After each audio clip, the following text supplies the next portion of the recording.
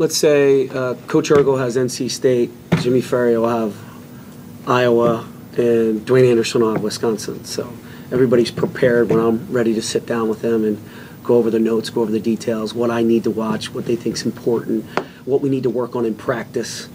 Um, even if it's the, you know yesterday or today, we can slide a couple things in that they might do over the next couple games. Yesterday is about us, about cleaning up the ball screen defense, about convert defense. Today is going to be more about us um, cleaning up some things. But I've told the assistants to spice it up a little bit here and there just to see how we react. I'll just throw one of their cuts in every now and then. Throw something that they do on a base OB, so something in the half court.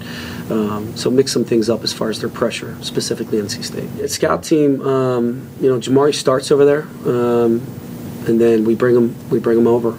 Nas is already over there, Satchel, Julian. So we got more depth and we have more guys for the scout team.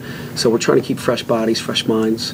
Um, and, and again, short and intense practices I think will be more valuable right now.